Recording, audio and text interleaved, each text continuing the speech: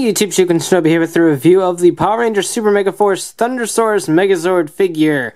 Now this is a re-release of the Retrofire Thundersaurus Megazord that was released way back during Power Rangers RPM in 2009. Part of the second wave, uh, I think it was sold alongside the Mystic Titan and the Valvemax Megazord.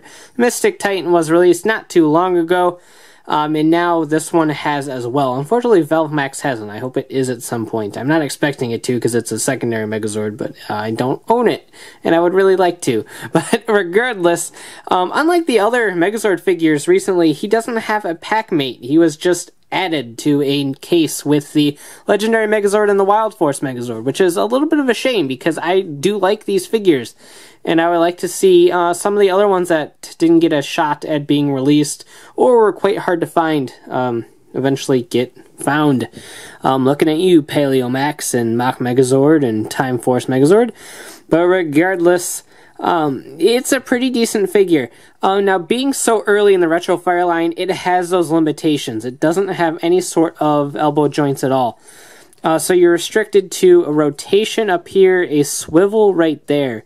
And that's all for that arm. There's no other sorts of swivels. Same thing over here. You got the side to side, but you do have a rotation here at the tail. Um, the head is on a very limited ball joint. It can't look up all that much at all. It can look down and side to side pretty well, but um, as for looking up, it ain't looking up. Uh, um, down here, it's got the same sort of style that the Retrofires have always had with the pin and swivel system. Um, and so you got quite a bit of range of motion on the uh, legs down here. Plus you have a thigh swivel right there, a single knee joint, and then a swivel down here at the foot. So the leg articulation is spot on perfect, as it usually is with the Retro Fire figures and the Megazord figures. Unfortunately, it has that flaw with the early figures of just having absolute crap arm posability, and that really does hinder it.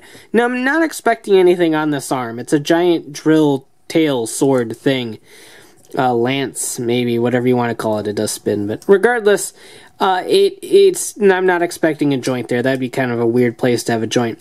But there's no excuse for the Triceratops arm. Um, it could have really used a joint to get some cool poses going, but now you're limited to that swivel. So that's uh, quite a bit of a shame, I think.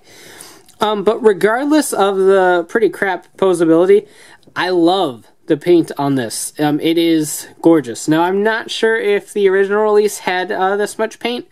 Um, I actually really haven't seen pictures of the original release to compare, because uh, sometimes the newer, new, newer, newer re-releases um, have a little bit brighter paint and stuff than the originals.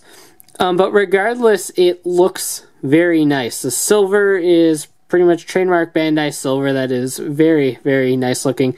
The gold through here is um, very subdued but nice looking as well. And all of the dino features through here is, uh, it's just done very, very well. You got the T-Rex with the teeth and the eyes and the little silver face thing up here. The Triceratops has all those same features, including the eyes. And even the pterodactyl down here has eyes and the beak and everything uh, colored.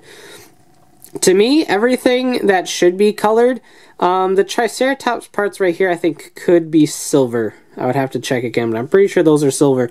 That's really the only speck of paint detailing um, maybe the tail, I don't know. The tail, I don't know for certain. That's really missing is a little bit on the Triceratops arm. Uh, but it just looks nice, I think. The head sculpt here is actually very, very nice. I really dig his uh, head sculpt. It's great. Um, now, unfortunately, when you spin the figure around, you lose um, a lot of the back detailing, obviously. But um, even the Triceratops arm still has uh, all the same paint detailings on the back. And surprisingly, even the shoulder pads are both silver and gold on there. So I have to give credit where credit's due. The articulation on this guy is complete balls but the paint is very nice. Um, so I, I will definitely give it props for that. And that's not to say you can't get some cool poses. Uh, they're all kind of limited and in slightly the same sort of fashion. But um, if you can kind of use the leg articulation to your advantage, uh, you can get some pretty uh, cool poses going on with this guy.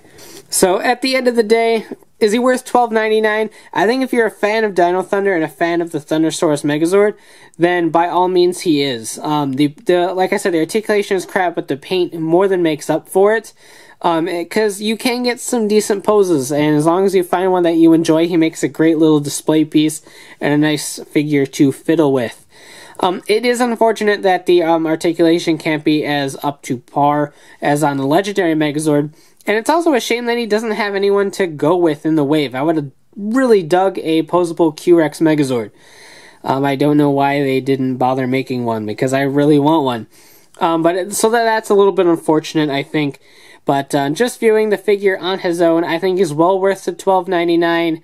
Uh, the Megazord figures tend to shelf warm a little bit, so if you want to hold off and try to get them on clearance, I think that's plenty possible.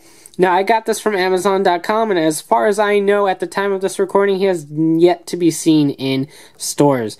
So if you do want this guy, um, I will include a link to Amazon in the description below for you to monitor. He comes in stock uh, every once in a while. He just kind of comes in and out of stock. So keep an eye on it if you want him. At the end of the day, I think he's a great figure despite the lack um, of articulation.